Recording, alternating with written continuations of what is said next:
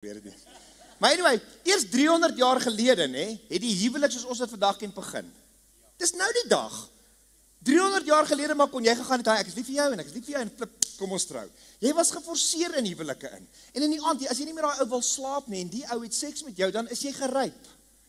Weet jy voel dit? Nê? Dis verskriklik. Okay, so so dink dit gou hierso oor, nê? Jy word wakker die dag. Het jy al ooit wakker geword en gedink, "Jene, ek is ek is nie waar ek moet wees nie."